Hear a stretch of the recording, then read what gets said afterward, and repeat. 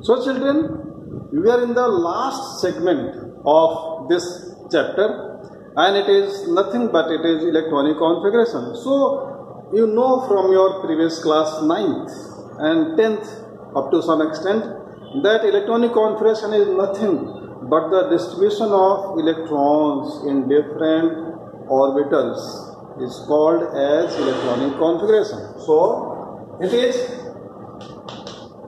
defined as the distribution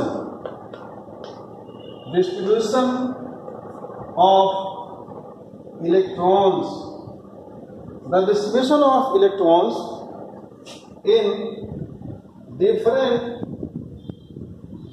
orbitals different orbitals in an atom or inside an atom. And so you know the rules. We can write electronic configuration only by certain guidelines. So this is the definition. Now it can be written only by the rules as per the different different principles. Rules are there. You know about the Aufbau rule? Of bow principle? You know Hund's you know Hund's rule you know Pauli exclusion. Pauli exclusion principle. So these are some of the important guidelines. And why we use the tools? You can ask why they are required. It is because they provide us guidelines and what are the guidelines? Guidelines are the increasing energies or energy level diagrams or energy have to be taken into consideration. The orbital having lowest energy will get electron first followed by the higher orbital. So this is there similarly this was the above point. Hund's rule the orbitals are assigned electrons first in the orbital having lowest value of n plus l and if the two second clause of this if the two orbitals have same value of n plus l then the orbital having a uh, lowest number of l. The value of principal quantum number is lowest. Will get electron first. Then coming to Pauli exclusion principle no two electrons have same set of all the four quantum numbers same. So this is there and these are the guidelines or these are the deciding factors for writing the electronic configuration.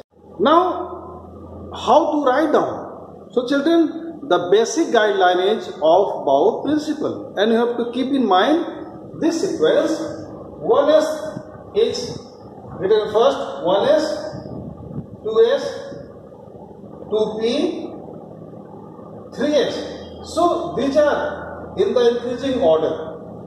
This sequence has to be learned. They have to be remembered. And we'll see from the you know above stage this is the one point. Other point is the maximum electrons maximum electrons assigned assigned to an orbital. Maximum electrons assigned to an orbital. What are the maximum electrons which can be given? So s. S orbitals have maximum of 2 electrons. Minimum can be 1 similarly p. P has 6 electrons.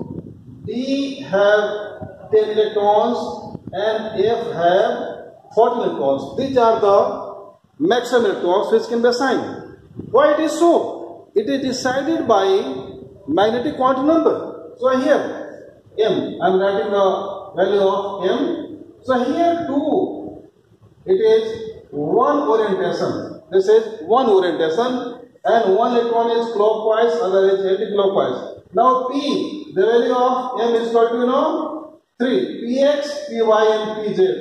So 3 orientation means the 6 electrons. D, D, you know, D have what? M is equal to 12 plus 1. So it is there. So D will have 5. 1, 2, 3 and 2, 5. So here it is there and we assign electrons like this. So there are the 10 electrons. Now coming to F. So F will have 7. F will have 7 orientations. Like this. So here 2, 2,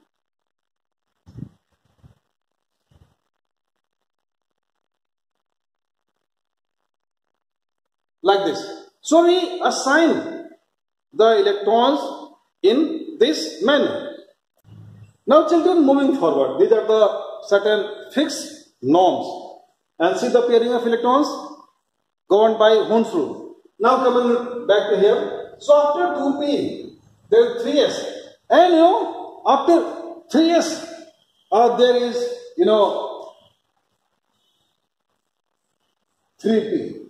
There is 3p. The energy is more in case of 3p. So 3p is uh, written there then there is the 4s, then there is the 3d and so on. So energy increases. So increasing, increasing energies, energies they increase like this. Now coming to writing portion, how to write down. So we will start with simplest atom it is hydrogen and hydrogen is 1. See very carefully. So what to write down? So it is 1s.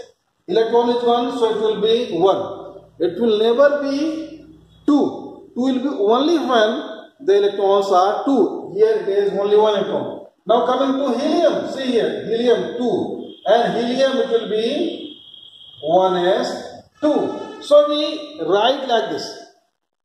Coming to Lithium. Lithium 3. 1s to now here 2. Now then coming to 2s1. So there is the progression in the assigning of electrons. So this number, of atomic number, will be sum of the number of electrons. Now children moving forward. Now coming to carbon, just uh, slightly jump. So carbon, atomic number 6, 1s2, now it will be 2s, 2s2, then coming to 2p, so we write down 2p, 2, or we may write down 1s2, 2s2, 2px1, 2py1, and 2pz0. This is the way we down. Then coming to, you know, nitrogen 7. 1s2, 2s2, 2p3, 2p3.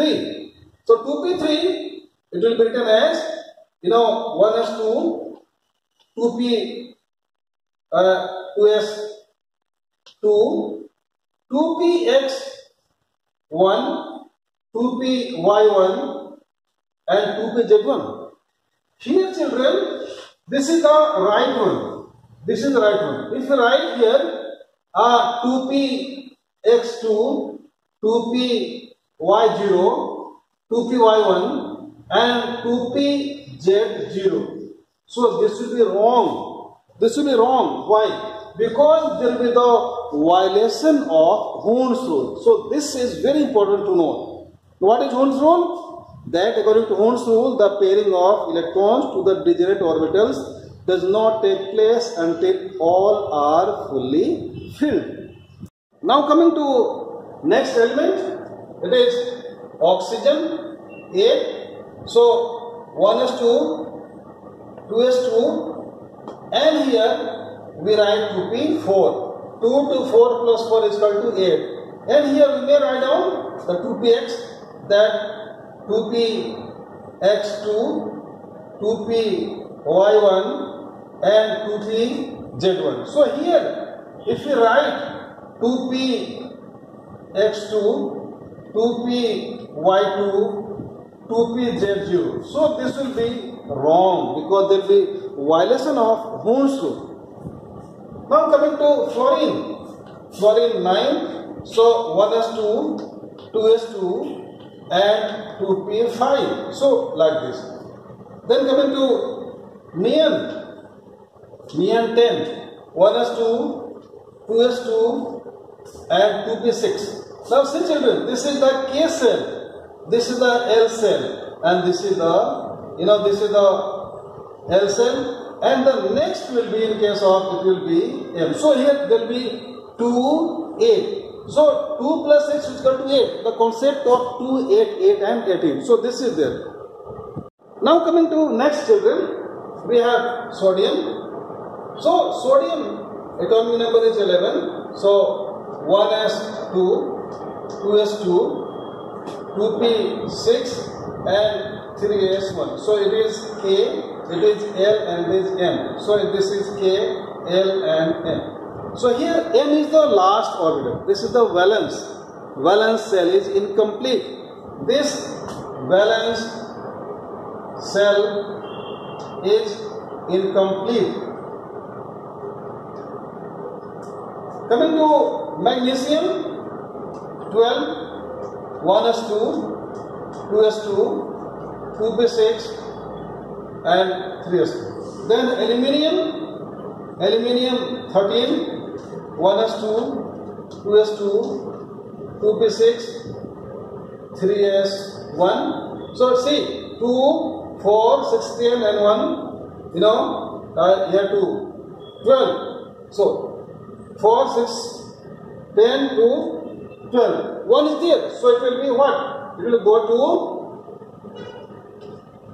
3p. So the electrons are filled in this manner. Now children, I am going to explain next. See calcium. Calcium 20. So it will be 1s2, 2s2, 2p6, and 3s2. So count and there will be 3p. So 2, 4, 16 or 2, 12 and plus no 6. So this number has to be taken. So it will be 4, 6, 10, 2, 12, 6, 18. So 2 are there. So after 3p, there is 4s. So it will be 4s2. So see here, this is K, this is L, and this is M. So here M is incomplete. So this is there. But children, after calcium, it comes the D block elements or transition elements and the there is some exceptional configuration. And see how scandium, scandium 21. So here it is 1s2, 2s2, 2p6, 3s2, 3p6, and here 3d 1, and here there is 4s2, 4, 16, 2, 12, 6, 18 to 20. Here 3d is written first children. D comes first. D is having less you know, energy than forest. So this is the concept. The 3D has actual actual practice, 3D is written first. So like this, and we keep on uh, moving like this, and so the electrons are assigned uh, in this manner. And so if you take the case of some more elements, you know, like scandium, we have written here. If you take the case of titanium, titanium 22, So it will be like this. So here will be 3D 2 and here will be 4S 2. So in this manner there is the progressive filling of electrons. Now coming to next children, vanadium 20 this vanadium after capillary there is vanadium 23. So it will be same. Here there will be 3D 3 and here there will be 4S 2. Coming to chromium 24 there. So it will be 3D 4 and 4S 2. But children, this is wrong. This is exceptional configuration. In case of chromium, it is exceptional configuration. And why it is so? Because to provide the extra stability, one electron from the 4s, one electron from 4s, it comes to 3d. And so it becomes 3d5 at 4s 1. So this is the way. Then the exceptional configuration. This configuration is exceptional configuration. So as to provide extra stability to chromium metal. Now see children, here manganese, manganese 25, 1s2, 2s2, 2p6, 3s2, 3p6. Here there will be 4s2 and it becomes 3d5. So we write or it is written you know 3d5 here 3d5 and 4s2. We can write either 4s2 or 3. Both are same, but actually uh, the 3d has less energy. Now coming to iron. Iron 26, 1s2, 2s2, 2p6, 3s2, 3p6, here 3d6 and 4s2. Now coming to cobalt. Cobalt again the same here there will be 3D 7, 4S2. Then coming to nickel. Nickel, you know, 3D 8 and 4S2. Now children comes the copper. Now copper 29. Copper atomic number 29. So again it is very close to chromium. It has the exceptional configuration and so copper will have like this copper, it will have 3D, you know, it should be 3D9. But it is not, it is 3D10. And 4S1, one turn from the 4S goes to 3D to provide extra stability. So this configuration is also exceptional, similar to chromium. Now coming to last, zinc. This is, you know, here it is 3D10 and here there is 4s2. So here the alters are complete and so this is there. So we have to see like this. Now children we are in the last segment and it is exceptional configuration, exceptional electronic configuration like you know chromium. Chromium 24, you know it has what? It has 3D uh, 5 and for 4s1 it is in the valence shell and this copper 29 it has 3D 10 and 4S1. So these are said to be exceptional configuration. So exceptional configuration is to provide the extra stability. So there are the two reasons why they have exceptional configuration. So reason is to provide to provide extra stability provide extra stability to the element. Extra stability to the element is provided. But why? See, one electron from this goes to 3D. Instead, it should have been 3D 4. Here it should have been 3D 9. But here one electron goes to 3D 10. Here goes to 3D 5. So this is stability. Now we'll see the reason behind it.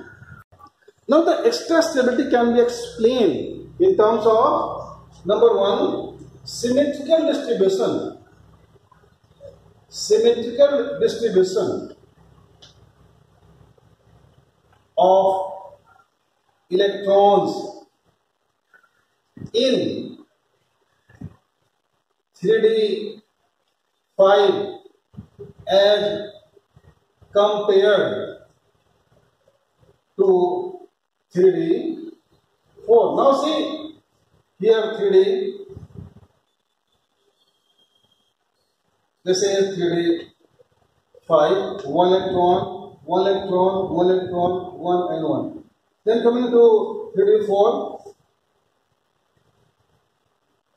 This is 3D 4, 1, 2, 3 and 4. So it is having less stability. It is less symmetrical. So it has less stability. Why? Because it is unsymmetrical. It is more stability. It is having more stability. So this is one point. Now children, second point, second condition is the exchange energy. Exchange energy. So exchange energy is the energy released when the electrons exchange their energy. See how we have 3D 5. So in 3D 5, just I am going to draw here. So here there is one condition. So if we see the exchange of electrons, one exchange, two exchange, three exchange and four exchange. So here there are how many exchanges? Four exchanges. Why they exchange? They exchange their positions to provide stability. Now coming to 3D 4. 3D4 and here we have this. So C electrons, 4 electrons and the exchanges. You can see the number of exchanges. Number of exchanges are going to be less.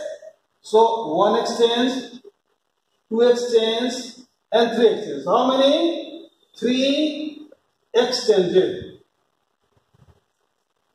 So the exchanges are 3. So here 4 exchanges means here, more energy, more energy release. So, more energy release means more stability. Here, less energy, less energy release. So, when the energy is less release, what will happen? Here in this case, there will be instability. So this is all about the electronic configuration or end of this chapter.